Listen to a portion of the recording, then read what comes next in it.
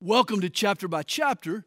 This is episode 5 from the Gospel of John. The public pool at Bethesda was regarded as a place of healing. The lame and infirm would lay by the pool hoping for a divine miracle. In John chapter 5, Jesus approached a man who had been lame for 38 years. He asked the man if he wanted to be healed, then gave him an impossible command how could a bedridden man rise, take up his bed, and walk?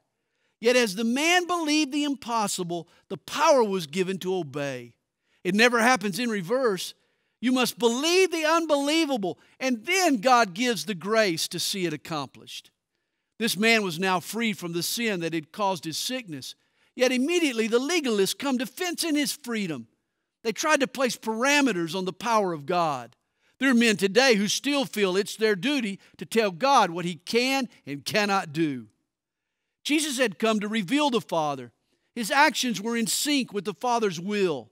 The Jews understood the implications of his statements. What's in sync must be equal.